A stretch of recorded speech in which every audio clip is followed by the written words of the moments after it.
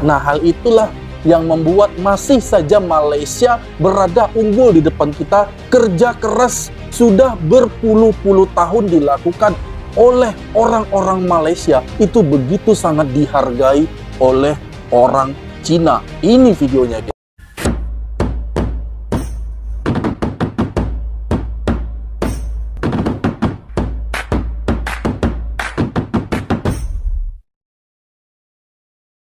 Assalamualaikum warahmatullahi wabarakatuh. Halo guys, berjumpa lagi di video ini Di kesempatan siang hari yang berbahagia ini. Tentunya seperti biasa, saya akan menyapa anda semua di sana. Semoga kita dalam keadaan baik-baik saja Sehat senantiasa jasmani juga rohaninya. Dan apa pun itu pekerjaan, kegiatan, aktivitas yang kita kerjakan Yang kita lakukan ya di dalam maupun di luar rumah Semoga juga diberikan kemudahan dan juga kelancaran oleh Tuhan yang Maha Kuasa. Amin Amin Ya Robbal Alamin satu video lagi guys ya, satu pembahasan penting yang akan kita reaksi di sini guys ya.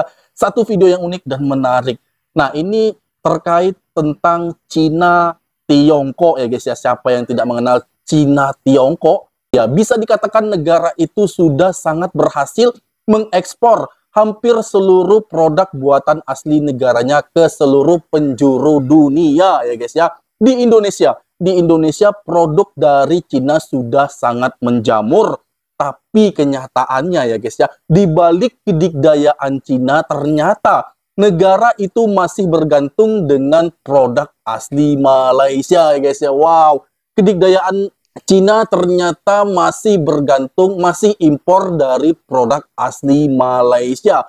Produk asli Malaysia ini yang sangat disukai oleh hampir seluruh rakyat rakyat Cina Tiongkok. Sebenarnya apa yang tidak bisa dibuat oleh Cina Tiongkok ya guys ya? Apa pun bisa mereka buat. Kenapa negeri tirai bambu itu masih bergantung oleh produk asli Malaysia? Nah ini menjadi tanda tanya bagi saya ya guys ya. Semua bisa dibuat oleh Cina Tiongkok, tapi tetap dia masih bergantung dengan produk asli Malaysia. Nah ini sangat seru ya guys ya. Bahwa Cina mengekspor produk-produknya ke Indonesia. Tapi Malaysia malah berbeda. Malaysia yang mengirim produk-produknya itu ke negara Cina, guys. Yang menarik sekali pembahasan ini. Langsung saja kita mereaksi video itu. Ini dah.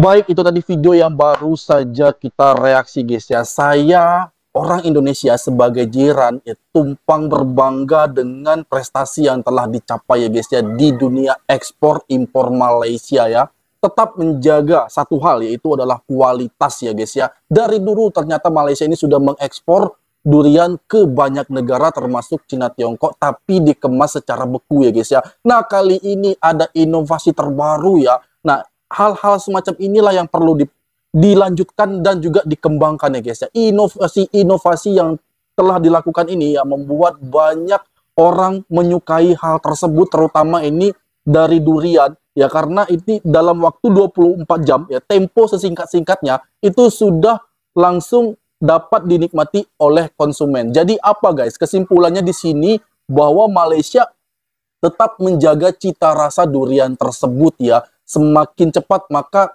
itu akan tetap segar ya guys ya. Kualitasnya juga tidak menurun. Nah inilah guys ya. Inilah yang saya bilang bahwa hal yang membuat saya bangga juga sebagai jirannya guys ya. Karena apa pun yang dilakukan oleh Malaysia hal-hal yang positif yang telah dilakukan seperti ini ya guys ya. Kerja keras ya. Kerja keras sudah berpuluh-puluh tahun dilakukan oleh orang-orang Malaysia itu begitu sangat dihargai oleh orang Cina. Ini videonya guys ya. Dari sini juga dapat kita saksikan bahwa Cina itu selalu sangat tertarik dengan hasil produk Malaysia yang begitu sangat memuaskan diri ya guys ya. Dapat menikmati durian tersebut ya kita makan dan rasanya itu tidak berkurang sedikit pun dari pada saat durian itu jatuh dari batangnya guys ya. Karena hanya perlu waktu 24 jam saja guys. Bagaimana kalau ke Indonesia? Nah, saya berharap ada kerjasama semacam ini. Walaupun di Indonesia sudah banyak orang yang menanam durian musangking, duri hitam, dan berbagai durian-durian kampung lainnya.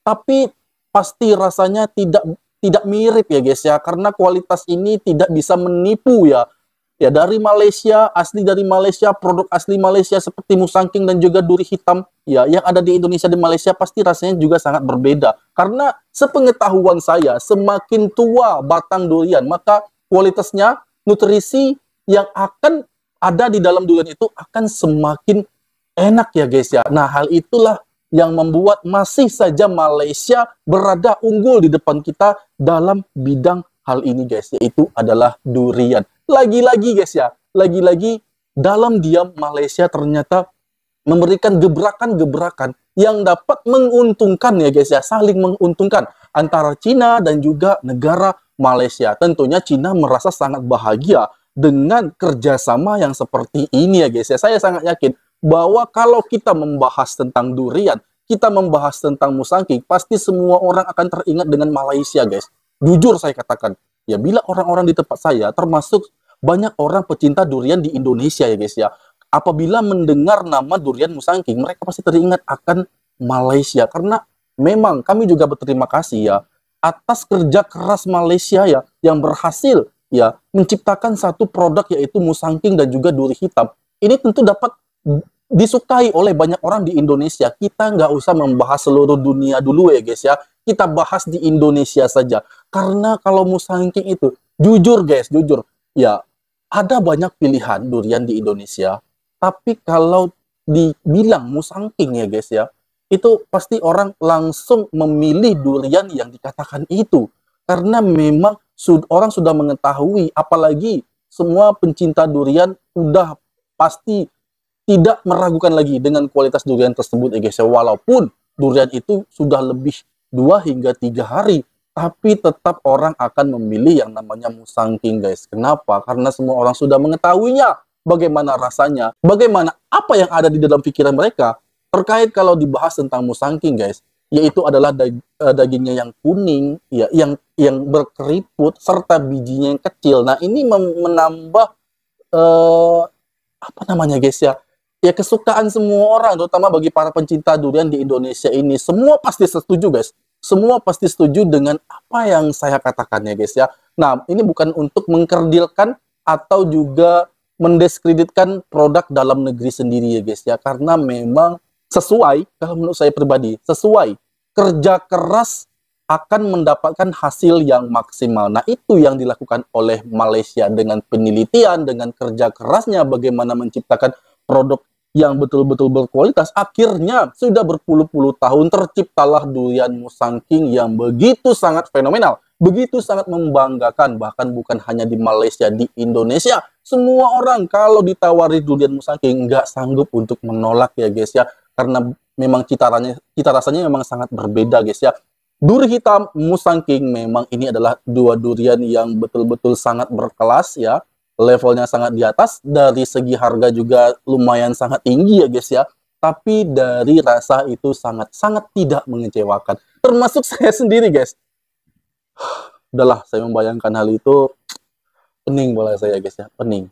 Ya, karena memang Musang King ini kalau durian tak ada lawannya guys ya. Nah, itulah yang difikirkan oleh Cina saat ini untuk terus bekerja sama dengan pihak uh, Malaysia agar terus mendapatkan durian dengan berkualitas dengan kualitas yang sangat tinggi seperti ini guys ya. Terutama ini yang baru fresh 24 jam tentu ini akan meningkatkan cita rasanya guys ya. Saya sangat yakin dengan hal itu. Baik, demikian tadi video aku. Semoga video ini bermanfaat bagi kita semua dan aku mohon mohon maaf jika ada kesalahan kata kesalahan sikap dan semua mohon dimaafkan dan aku kira wassalamualaikum warahmatullahi wabarakatuh.